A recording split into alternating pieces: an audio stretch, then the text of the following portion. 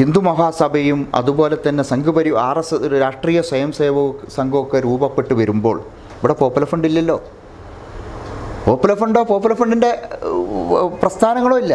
മറിച്ച് അവർക്ക് വഴി വെട്ടിക്കൊടുത്തിട്ടുള്ളത് ഈ കഴിഞ്ഞ പാർലമെന്റ് തെരഞ്ഞെടുപ്പിൽ പോലും അത് ഹിന്ദു സമുദായമായിട്ടൊരു ബന്ധവുമില്ല.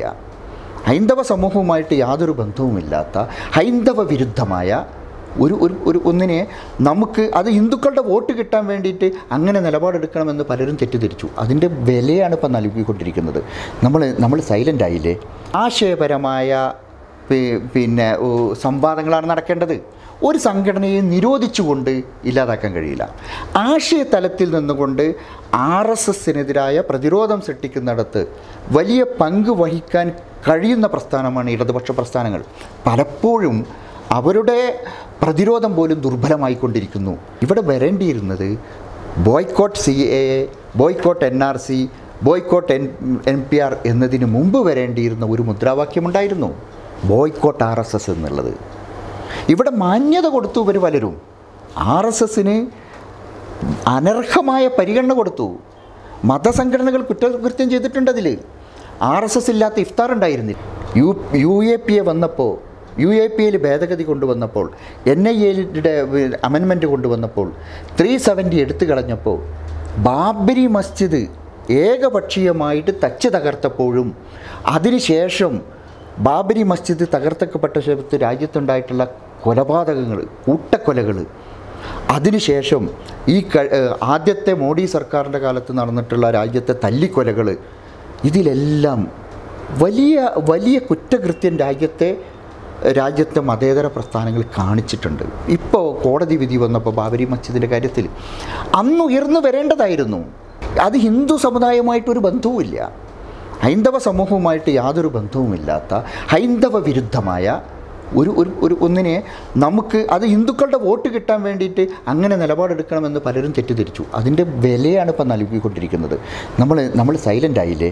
ബി ജെ പി എന്ന് പറയുന്ന ഒരു രാഷ്ട്രീയ പ്രസ്ഥാനത്തിനപ്പുറത്തേക്ക് ആർ എസ് എസ് എന്ന് പറയുന്ന ഒരു ഐഡിയോളജിയുടെ വർക്കിനെ ദീർഘദൃഷ്ടിയോടുകൂടി കാണുന്നതിന് നമ്മുടെ ഇന്ത്യയിലെ ദേശീയ നേതൃത്വങ്ങൾ പരാജയപ്പെട്ടു എന്നതാണ് നമുക്ക് കാണാൻ കഴിയുന്നത്. നമസ്കാരം. ഇന്ന് നമ്മോടൊപ്പം ഉള്ളത് പോപ്പുലർ ഫ്രണ്ടിന്റെ സംസ്ഥാന പ്രസിഡന്റ് എളമരം നസറുദ്ദീൻ സാറാണ്. പോപ്പുലർ ഫ്രണ്ട് എന്ന പ്രസ്ഥാനത്തെ നിരോധിക്കുന്നു എന്നുള്ള വാർത്തകൾ അടിസ്ഥാനമാക്കിയാണ് ഈ ഇന്റർവ്യൂ നമ്മൾ ചെയ്യുന്നത്. എന്താണ് പ്രതികരണം? പോപ്പുലർ ഫ്രണ്ട് ഓഫ് ഇന്ത്യയെ നിരോധിച്ചാലും ഇല്ലെങ്കിലും പോപ്പുലർ ഫ്രണ്ട് എന്ന് പറയുന്നത് ഒരാശയമാണ്.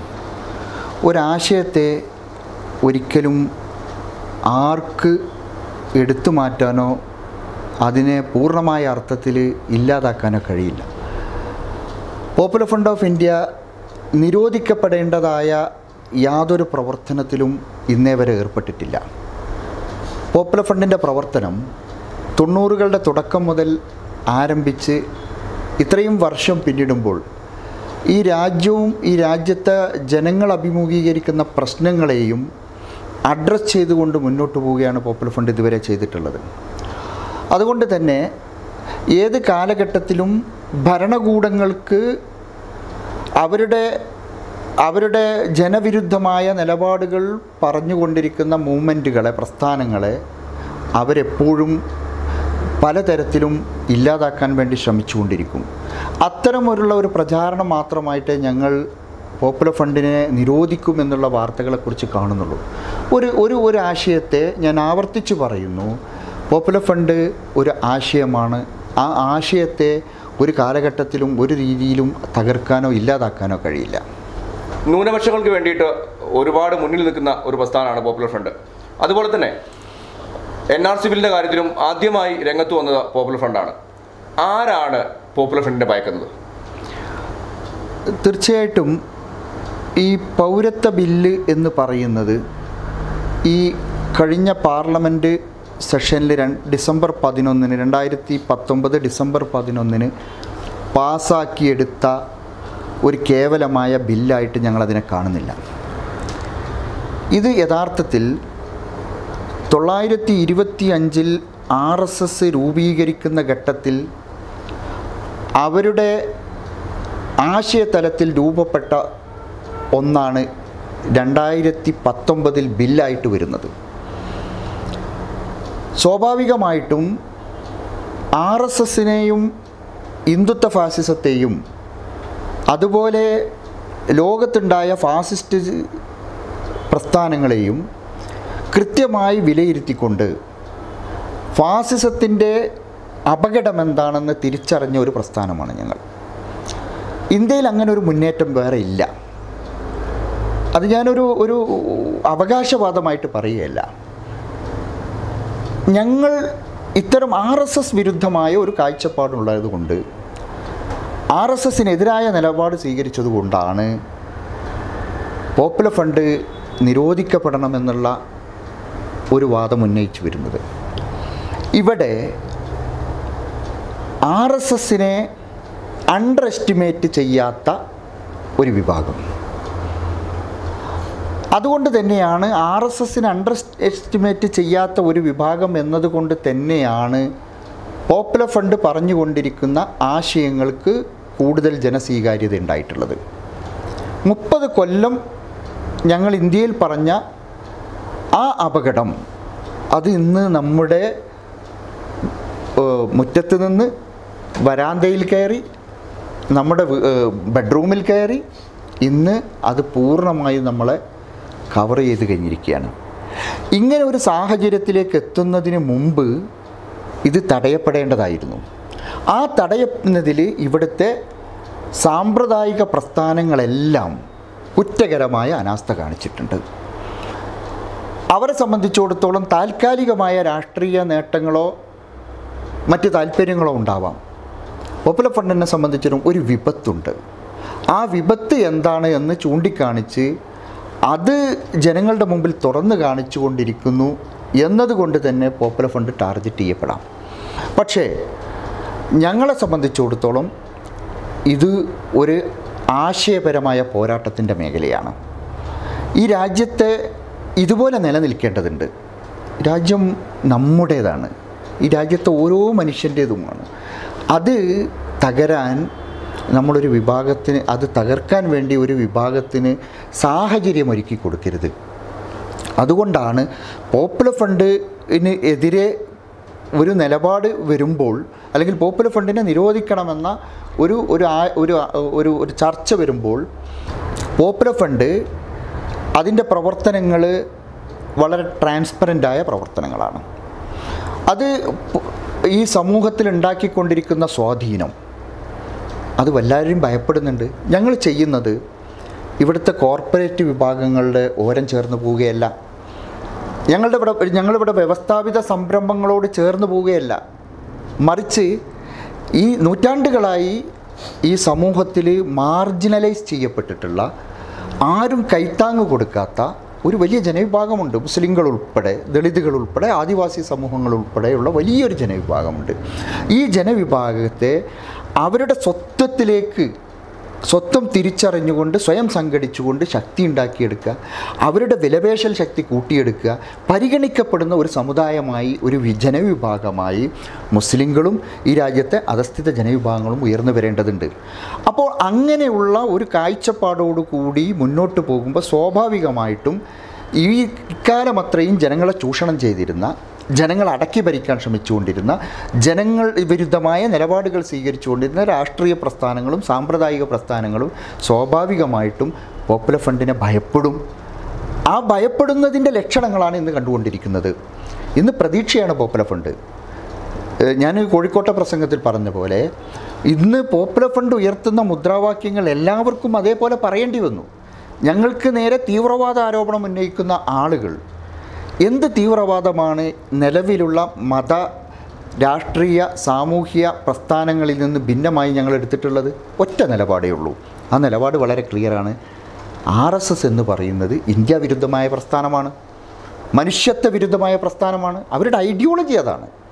അവർക്ക് സവർക്കറുടെയും ഗോൾവാൾക്കറുടെയും വളരെ കൃത്യമായ ഐഡിയോളജി അവരുടെ ജനങ്ങൾക്ക് ഒരു സംശയം ആർ എസ് എസും പോപ്പുലർ ഫ്രണ്ടും ഒരു നാണയത്തിന്റെ ഇരുവശങ്ങളാണ്.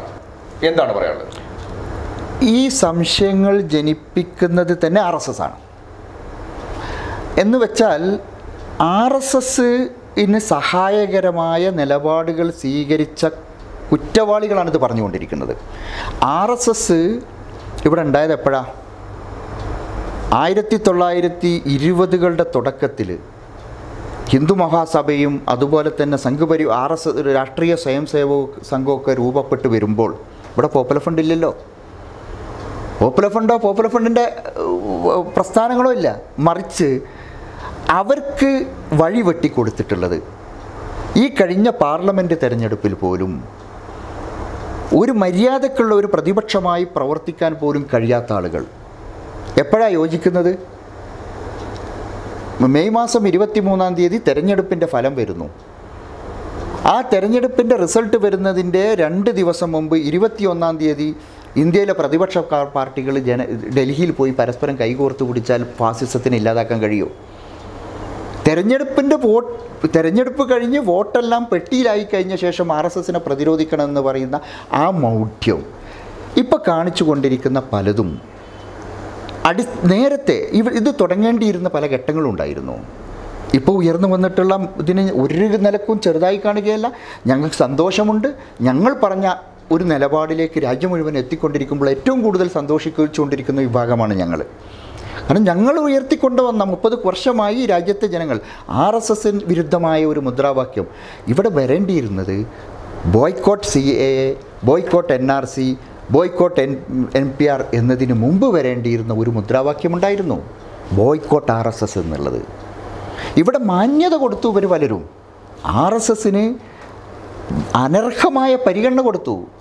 മതസംഘടനകൾ കുറ്റകൃത്യം ചെയ്തിട്ടുണ്ട് അതിൽ ആർ എസ് എസ് ഇല്ലാത്ത ഇഫ്താർ ഉണ്ടായിരുന്നില്ല. അങ്ങനെയെങ്കിൽ ആർ എസ് എസിനെ നിരോധിക്കേണ്ടതല്ലേ തീർച്ചയായിട്ടും ഞാൻ പറഞ്ഞ് ഒരു ഒരു പ്രസ് ആശയപരമായ ആശയപരമായ പിന്നെ സംവാദങ്ങളാണ് നടക്കേണ്ടത്. ഒരു സംഘടനയെ നിരോധിച്ചുകൊണ്ട് ഇല്ലാതാക്കാൻ കഴിയില്ല. ആശയതലത്തിൽ നിന്നുകൊണ്ട് ആർ എസ് എസിനെതിരായ പ്രതിരോധം സൃഷ്ടിക്കുന്നിടത്ത് വലിയ പങ്ക് വഹിക്കാൻ കഴിയുന്ന പ്രസ്ഥാനമാണ് ഇടതുപക്ഷ പ്രസ്ഥാനങ്ങൾ. പലപ്പോഴും അവരുടെ പ്രതിരോധം പോലും ദുർബലമായിക്കൊണ്ടിരിക്കുന്നു. എന്ന് വെച്ചാൽ വോട്ട് ബാങ്ക് രാഷ്ട്രീയത്തിനപ്പുറത്തേക്ക് ഇതിനെ കാണാൻ കഴിയേണ്ടതുണ്ട് എന്നാണ് വിപത്തിനെ നമ്മൾ കേരളത്തിൽ വലിയൊരു പ്രളയം വന്നു. ആ പ്രളയം മുഴുവനും നമ്മൾ അതൊരു വിപത്തായിരുന്നു ഒരു ദുരന്തമായിരുന്നു. ആ ദുരന്തത്തെ ജാതിയോ മതമോ പ്രസ്ഥാനമോ ഒന്നുമില്ലാതെ നമ്മൾ ഒരുമിച്ച് നേരിട്ടു. ഇതേപോലെ ഇതൊരു വിപത്താണ് ഒരു ദുരന്തമാണ്. രാജ്യത്തെ ഏറ്റവും വലിയ ദുരന്തം ദാരിദ്ര്യം പട്ടിണി അതുപോലുള്ള ഒരു ദുരന്തമാണ് ഹിന്ദുത്വ ഫാസിസം എന്ന് പറയുന്നത്. അത് ഹിന്ദു സമുദായമായിട്ടൊരു ബന്ധവുമില്ല. ഹൈന്ദവ സമൂഹവുമായിട്ട് യാതൊരു ബന്ധവുമില്ലാത്ത ഹൈന്ദവ വിരുദ്ധമായ ഒരു ഒരു ഒരു ഒന്നിനെ നമുക്ക് അത് ഹിന്ദുക്കളുടെ വോട്ട് കിട്ടാൻ വേണ്ടിയിട്ട് അങ്ങനെ നിലപാടെടുക്കണമെന്ന് പലരും തെറ്റിദ്ധരിച്ചു. അതിന്റെ വിലയാണ് ഇപ്പം നൽകിക്കൊണ്ടിരിക്കുന്നത്. നമ്മൾ നമ്മൾ സൈലന്റ് ആയില്ലേ? U U A P A വന്നപ്പോൾ യു എ പി എയിൽ ഭേദഗതി കൊണ്ടുവന്നപ്പോൾ എൻ ഐ എയുടെ അമെൻമെന്റ് കൊണ്ടുവന്നപ്പോൾ ത്രീ സെവന്റി എടുത്തു കളഞ്ഞപ്പോൾ ബാബരി മസ്ജിദ് ഏകപക്ഷീയമായിട്ട് തച്ച് തകർത്തപ്പോഴും അതിനുശേഷം ബാബരി മസ്ജിദ് തകർത്തക്കപ്പെട്ട ശേഷത്ത് രാജ്യത്തുണ്ടായിട്ടുള്ള കൊലപാതകങ്ങൾ കൂട്ടക്കൊലകൾ. അതിനുശേഷം ഈ ആദ്യത്തെ മോഡി സർക്കാരിന്റെ കാലത്ത് നടന്നിട്ടുള്ള രാജ്യത്തെ തല്ലിക്കൊലകൾ ഇതിലെല്ലാം വലിയ വലിയ കുറ്റകൃത്യം രാജ്യത്തെ രാജ്യത്തെ മതേതര പ്രസ്ഥാനങ്ങൾ കാണിച്ചിട്ടുണ്ട്. ഇപ്പോൾ കോടതി വിധി വന്നപ്പോൾ ബാബരി മസ്ജിദിന്റെ കാര്യത്തിൽ അന്ന് ഉയർന്നു വരേണ്ടതായിരുന്നു. ആർ എസ് എസിന് ആർ എസ് എസ് ആയിട്ട് മനസ്സിലാക്കാൻ ആ വിപത്തിനെ മനസ്സിലാക്കുന്നിടത്ത് ചെറുതായി കണ്ടുപോയി എന്നതിൽ നിന്നാണ് ഇപ്പോൾ ഇതിപ്പോൾ ഓരോരുത്തരെയും ഈ ഈ യഥാർത്ഥത്തിൽ ഈ ഇപ്പോൾ രൂപപ്പെട്ടു വരുന്ന പ്രതിഷേധമെന്ന് പറയുന്നത് ഇത് നമ്മളൊക്കെ നേരിട്ട് ബാധിക്കുമല്ലോ എന്നുള്ളിടത്ത് നിന്ന് എന്നെ ബാധിക്കും എന്നുള്ളിടത്ത് നിന്ന് അല്ലായിരുന്നു വര വരേണ്ടിയിരുന്നത്. ഞാൻ നിങ്ങളുടെ അയൽവാസിയാണെങ്കിൽ നിങ്ങൾക്ക് ഒരു അപക അപകടം വരുമ്പോൾ അത് കാണേണ്ടിയിരുന്നു ഞാൻ. അന്ന് ഞാൻ നിങ്ങളെ സഹായിക്കാനും നിങ്ങളുടെ കൂടെ വരേണ്ടിയിരുന്നു. ഇന്ന് ഇത് എന്റെ അടുത്തേക്ക് വന്നപ്പോൾ മാത്രം നമ്മൾ വാവിട്ട് കരഞ്ഞിട്ട് കാര്യമില്ല. പക്ഷേ രാജ്യത്ത് ഇവിടുത്തെ സാമ്പ്രദായികമായ നേതൃത്വങ്ങളെയെല്ലാം അവഗണിച്ചുകൊണ്ട് രാജ്യത്തൊരു പുതിയ ജാഗരണം ഉണ്ടായി വന്നിരിക്കുന്നു. അത് ഇവിടുത്തെ പിന്നെ ചിന്തിക്കുന്ന ഇന്ത്യയ്ക്ക് പ്രതീക്ഷ നൽകുന്ന ഒരു ഒരു ഒരു ഒരു ഒരു പിന്നെ യുവ യുവനിര തന്നെ നമുക്കുണ്ടായി വന്നു കൊണ്ടിരിക്കുന്നു. ചന്ദ്രശേഖർ ആസാദിനെ പോലെയുള്ള കനകകുമാറൊക്കെ ഒരു ദളിത് കമ്മ്യൂണിറ്റിയിൽ നിന്ന് അധസ്ഥിത ജനവിഭാഗങ്ങളിൽ നിന്ന് മുസ്ലിം മൈനോറിറ്റിയിൽ നിന്ന് ക്യാമ്പസുകളിൽ നിന്നൊക്കെ തന്നെ പുതിയ തരത്തിലുള്ള മുന്നേറ്റങ്ങൾ ഉണ്ടായിക്കൊണ്ടിരിക്കുന്നത്. ഒരു രണ്ടാം സ്വാതന്ത്ര്യ സമരത്തിന്റെ വേവ് ഇന്ത്യ രാജ്യത്ത് ഉണ്ടായിക്കഴിഞ്ഞു. എല്ലാ കൊടികളും ഒരു മൂലക്ക് വെച്ച് ഒരൊറ്റ പതാക എടുക്കുന്ന പുതിയ ഒരു ഒരു ഒരു പ്രതീക്ഷ നമുക്ക് കാണാൻ കഴിയുന്നത്. ഇത് തീർച്ചയായിട്ടും ഇന്ത്യയിൽ ശക്തി പ്രാപിച്ചു വരേണ്ടതുണ്ട് എന്നുള്ളൊരു നിലപാടാണ് പോപ്പുലർ ഫ്രണ്ടിനുള്ളത് പലപ്പോഴും ഇപ്പോൾ വീഡിയോ പല വീഡിയോ ഉത്തർപ്രദേശ് ആവട്ടെ കുറച്ച് വീഡിയോകളൊക്കെ കാണുമ്പോൾ ശരിക്കും മനസ്സലിഞ്ഞു പോകുന്ന വീഡിയോകളാണുള്ളത്. അതുപോലെ തന്നെ രാജ്യത്തും അക്രമം വളരെ കൂടിക്കൊണ്ടിരിക്കുകയാണ്. ആറ് വർഷത്തിന് ശേഷം നമ്മൾ എടുത്തു നോക്കിയാൽ അറിയാം. മുസ്ലിം ഹിന്ദു ക്രിസ്ത്യൻ അങ്ങനെ ന്യൂനപക്ഷങ്ങളെ വേർതിരിച്ച് കാണുന്ന ഒരു നിലപാട് പലപ്പോഴും ഈ കാണുന്നുണ്ട് നമ്മൾ. ഇതിനെയൊക്കെ പ്രതികരിക്കുന്നതാണോ ശരിക്കും പോപ്പുലർ ഫ്രണ്ട് ചെയ്യാൻ തെറ്റ്? തീർച്ചയായിട്ടും. ഞാൻ പറഞ്ഞല്ലോ ഇത് പിന്നെ ഈ വിവേചനം ഈ രീതിയിൽ വിഭജനം നടക്കുന്നതോടുകൂടി നഷ്ടമാകുന്നത് നമ്മുടെ രാജ്യമാണ്. ഇതാണ് ഞങ്ങൾ പറഞ്ഞുകൊണ്ടിരിക്കുന്നത്. ഇതിനപ്പുറത്തേക്കുള്ള ഒരു ഒരു നിലപാടും ഞങ്ങൾ പറയുന്നില്ല. ഇത് ഇത് പലരിലും അസ്വസ്ഥത ഉണ്ടാക്കുന്നുണ്ട്. നമ്മൾ ഒന്നിച്ച് നിൽക്കേണ്ടത്. ഏത് വോട്ട് ബാങ്കിന് വേണ്ടിയിട്ടാണ്. പലപ്പോഴും വോട്ട് ഞാൻ പറഞ്ഞു രാജ്യത്തെ എണ്ണമറ്റ വർഗീയ കലാപങ്ങളുണ്ടായി. ആ വർഗീയ കലാപങ്ങളെക്കുറിച്ചുള്ള പഠനങ്ങളെല്ലാം നമ്മുടെ മുമ്പിലുണ്ട്. അതൊക്കെ എടുത്ത് പരിശോധിച്ച് നോക്കുമ്പോൾ ഒരു സമയത്ത് നേരത്തെ വർഗീയ കലാപങ്ങളായിരുന്നു ഉന്മൂലനത്തിനെടുത്തിരുന്നത്. പിന്നീട് പിന്നെ കൂട്ട പിന്നെ കൂട്ടമായിട്ടുള്ള രീതിയിൽ തല്ലിക്കൊലകൾ വന്നു. പിന്നീട് ഇപ്പോൾ ഇതാ നിയമം ഉപയോഗിച്ചുകൊണ്ടുള്ള പൂർണമായ വംശഹത്യ നടന്നു ഗുജറാത്തിൽ. ഇതൊക്കെ നടന്നിട്ടു. അതൊന്നും മതി. ഇത് പിന്നെ ഒരു നിസ്സാരമായിട്ട് ഇല്ലാതാവുമെന്ന് നമ്മൾ കരുതരുത്. ഒരു ഒരു യൂണിറ്റി ഇന്ത്യ നിലനിൽക്കണമെന്ന് ആഗ്രഹിക്കുന്ന മുഴുവൻ ജനവിഭാഗങ്ങളുടെയും ഒരു യൂണിറ്റിയാണ് ഇവിടെ രൂപപ്പെട്ടത്. മതസൗഹാർദ്ദത ശരിക്കും തകർന്നു എന്ന് വേണം പറയാൻ. തീർച്ചയായിട്ടും സംശയദൃഷ്ടിയോടുകൂടി പിന്നെ അതുപോലെ തന്നെ നമുക്ക് സാമ്പത്തികമായിട്ട് ഒന്നും ഒരു ഒരു സാമ്പത്തികമായിട്ട് വളരെ മോശത്തിലേക്ക് പോയിക്കൊണ്ടിരിക്കുകയാണ് തീർച്ചയായിട്ടും. വരാനിരിക്കുന്ന ബജറ്റ് ഞാൻ പറയുന്നത് ബി ജെ പി അവരുടെ അവരുടെ വഴികൾ എളുപ്പമാക്കാൻ ബി ജെ പി എന്ന് പറയുന്ന ഒരു രാഷ്ട്രീയ പ്രസ്ഥാനത്തിനപ്പുറത്തേക്ക് ആർ എസ് എസ് എന്ന് പറയുന്ന ഒരു ഐഡിയോളജിയുടെ വർക്കിനെ ദീർഘദൃഷ്ടിയോടുകൂടി കാണുന്നതിന് നമ്മുടെ ഇന്ത്യയിലെ ദേശീയ നേതൃത്വങ്ങൾ പരാജയപ്പെട്ടു എന്നതാണ് നമുക്ക് കാണാൻ കഴിയുന്നത്. എത്ര എളുപ്പത്തിലാണ് അവർ അവരുടെ വഴികൾ സ്മൂത്താക്കിയിട്ട് എടുത്തു കൊണ്ടുപോയിട്ടുള്ളത് അവിടെ ഡിവൈഡ് ചെയ്തു. വളരെ ജനങ്ങളെ കംപ്ലീറ്റ് ഡിവൈഡ് ചെയ്തിട്ട് അവരതിന്റെ നേട്ടം കൊയ്തുകൊണ്ടിരിക്കുമ്പോൾ ഞാൻ വളരെ സീരിയസ് ആയിട്ട് കണ്ടിട്ടുള്ള കഴിഞ്ഞ പാർലമെന്റ് തിരഞ്ഞെടുപ്പിനെ ഞാൻ വളരെ സീരിയസ് ആയി കണ്ടു. ഇന്ത്യയിൽ കോൺഗ്രസ് ജയിക്കണമെന്ന് ആഗ്രഹിച്ചിരുന്ന എത്ര നേതാക്കന്മാരുണ്ട് കോൺഗ്രസിനകത്ത്? രാഹുൽ ഗാന്ധിക്ക് മാത്രം ഉണ്ടായിരുന്നു. അദ്ദേഹം കുറേ ഓടി അവസാനം അദ്ദേഹം അദ്ദേഹം ഓടി അവസാനം അദ്ദേഹം ഇട്ടെറിഞ്ഞു പോയി അല്ല, ഒരു ഒരു- വലിയ ഒരു- പ്രസ്ഥാനം ഒരു- തലയിലേറ്റി വെക്കുമ്പോൾ ഭയങ്കര ആ, തീർച്ചയായിട്ടും. ഞാൻ പറഞ്ഞ അതിനോടൊപ്പം നിൽക്കേണ്ട ടീം വിശ്വസ്തരെന്ന് പറയുന്ന പലരും കൂടെ ഉണ്ടായില്ല. എന്ന് വെച്ചാൽ ഓരോരുത്തർക്കും രാഷ്ട്രീയ പ്രവർത്തനം എന്ന് പറയുന്നത് ജനസേവനം അല്ലെങ്കിൽ രാജ്യത്തെ ജനങ്ങളുടെ പ്രശ്നങ്ങൾ ഏറ്റെടുക്കുക എന്നതിനപ്പുറത്ത് ഉപജീവന മാർഗവും ഏണിംഗ് പിന്നെ വഴികളുമായിട്ട് മാറിക്കഴിഞ്ഞിരിക്കുന്നു. അതിൽ നിന്ന് മാറിയിട്ടുള്ള ഒരു ഒരു ജനങ്ങളുടെ രാഷ്ട്രീയത്തെ ജനങ്ങളുടെ ഉയർത്തെഴുന്നേൽപ്പിനെ അവഗണിക്കാൻ പറ്റാത്ത ഒരു സാമൂഹ്യ സാഹചര്യം ഇന്ത്യയിൽ ഇപ്പോൾ രൂപപ്പെട്ടു വന്നിട്ടുണ്ട്. അതിനെ കോർഡിനേറ്റ് ചെയ്യപ്പെടേണ്ടതുണ്ട്. അതിന് ആ പുതിയൊരു ലീഡർഷിപ്പ് ഉയർന്നു വരേണ്ടതുണ്ട് എന്നുള്ളതാണ്. സാമൂഹ്യ പ്രതിബദ്ധതയുള്ള ഒരു സോഷ്യൽ ചേഞ്ചിനാവശ്യമായ പ്രതിബദ്ധതയുള്ള ഒരു സമൂഹം ഉയർന്നു വരേണ്ടതുണ്ട് എന്നുള്ള ഒരു നിലപാടാണ് ഞങ്ങൾക്കുള്ളത്. കേന്ദ്ര സർക്കാരിന്റെ ഭാഗത്തു നിന്നും പലപ്പോഴും പറയുകയുണ്ടായി. ന്യൂനപക്ഷങ്ങൾക്ക് സ്പെഷ്യലി മുസ്ലിം മുസ്ലിങ്ങൾക്ക് ഒരു പ്രശ്നവുമില്ലാത്ത ബില്ലിന് ജനങ്ങൾ തെരുവിലിറങ്ങുന്നത് ശരിയല്ല.